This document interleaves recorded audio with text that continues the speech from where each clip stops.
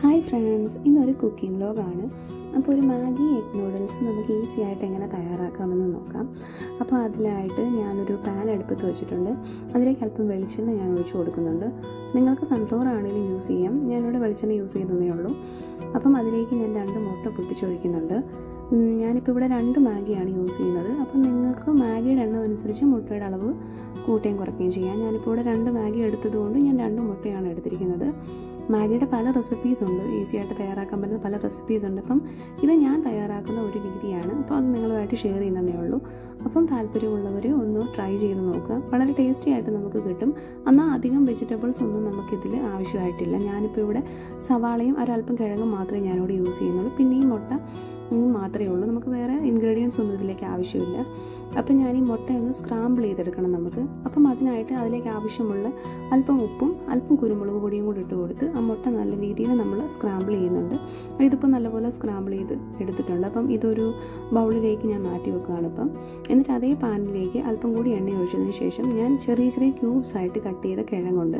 അപ്പം നമുക്കിപ്പോൾ ചെറുതായിട്ട് കട്ട് ചെയ്യുവാണെന്നുണ്ടെങ്കിൽ നമുക്ക് എളുപ്പം ഫ്രൈ ചെയ്ത് കിട്ടും. ഞാനിപ്പോൾ ഇവിടെ ഒരു അരക്കഷ്ണം കിഴങ്ങാണ്. ഒരു മീഡിയം സൈസ് കിഴങ്ങിൽ അരക്കഷ്ണം കിഴങ്ങെടുത്ത് അതൊന്ന് ഫ്രൈ ചെയ്യാനിട്ടിട്ടുണ്ട് അപ്പം അതിലേക്ക് അല്പം മുളക് പൊടിയും അല്പം കുരുമുളക് പൊടിയും ആവശ്യത്തിന് ഉപ്പും ചേർത്ത് നല്ലപോലെ ഒന്ന് ഇളക്കി എടുക്കുന്നുണ്ട് അപ്പം അത് നല്ലപോലെ ഒന്ന് ഇളക്കി യോജി യോജിപ്പിച്ചതിന് ശേഷം ഞാൻ ഒന്ന് അടച്ച് വെച്ച് വേവിക്കുന്നുണ്ട്. ഒരു അല്പം നേരം നമുക്ക് വേവിച്ചെടുത്താൽ മതി. അപ്പം മീഡിയം ഫ്ലെയിമിലാണ് ഞാനിപ്പോൾ ഇവിടെ വെച്ചിരിക്കുന്നത്.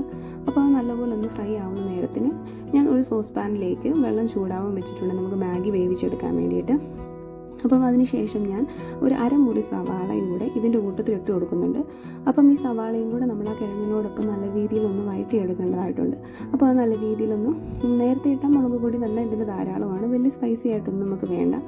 അപ്പം ഞാൻ ആ ചൂടായ വെള്ളത്തിലേക്ക് നമ്മുടെ മാഗിയും കൂടെ ഞാൻ ഇട്ട് കൊടുക്കുന്നുണ്ട് വേവിക്കാൻ വേണ്ടി ഇതിന്റെ കൂട്ടത്തിൽ. അപ്പം നമുക്ക് രണ്ടും ഒരേ രീതിയിൽ നമുക്ക് ചെയ്തെടുക്കുമ്പോൾ നമുക്ക് എല്ലാം എളുപ്പം കഴിഞ്ഞ് കിട്ടും.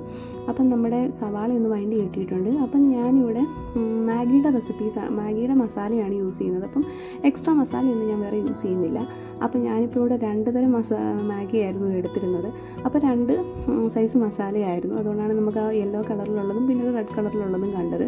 അപ്പം ഞാനാണെങ്കിൽ ആ രണ്ട് മസാലയും അതിലേക്ക് ഇട്ടതിന് ശേഷം നല്ല രീതിയിലൊന്ന് ആ പച്ചമണം മാറുന്നവരെ നല്ല രീതിയിലൊന്ന് വഴറ്റിയെടുക്കുന്നുണ്ട് അപ്പോഴത്തേക്ക് നമ്മുടെ മാഗി നമുക്ക് വെന്ത് കിട്ടി. അപ്പോൾ ഞാൻ നല്ല രീതിയിലൊന്ന് വഴണ്ടി കിട്ടിയതിന് ശേഷം അതിലേക്ക് ഞാൻ നമ്മുടെ മാഗിയും കൂടി ഇട്ട് കൊടുത്തു. അപ്പോൾ നല്ല രീതിയിലൊന്ന് ഇളക്കി യോജിപ്പിച്ചതിന് ശേഷം നമ്മുടെ മുട്ടയും കൂടി എടുത്ത് അതിലേക്ക് ഇട്ട് നമുക്ക് ഒന്നും കൂടെ ലാസ്റ്റ് ഫൈനലി ഒന്ന് ഇളക്കി യോജിപ്പിച്ചാൽ നമ്മുടെ